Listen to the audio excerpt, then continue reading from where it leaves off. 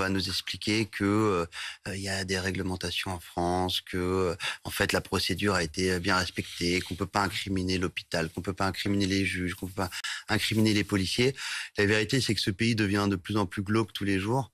que je me mets à la place du français ou de la française lambda qui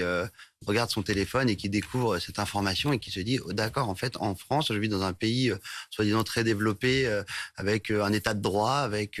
des règles avec un sens de l'accueil. Et en fait donc quelqu'un qui est pas censé être sur le territoire français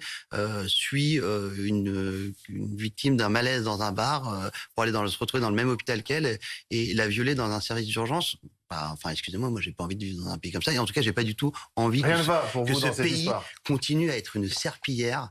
pour des gens en situation régulière qui euh, bafoue euh, notre culture, notre droit et euh, la plus élémentaire de l'humanité, des humanités. Dans l'affaire Lola, on a dit oui, arrêtons de regarder que la meurtrière présumée est une OQTF, le, le, crime ça existe depuis tous les temps, depuis Landru, etc. Enfin, ok, on ne, on ne cessera pas le crime dans n'importe quelle société, dans n'importe quel pays, mais si on peut s'éviter d'avoir en plus ce genre d'acte ignoble commis par des gens qui n'ont rien à faire chez nous,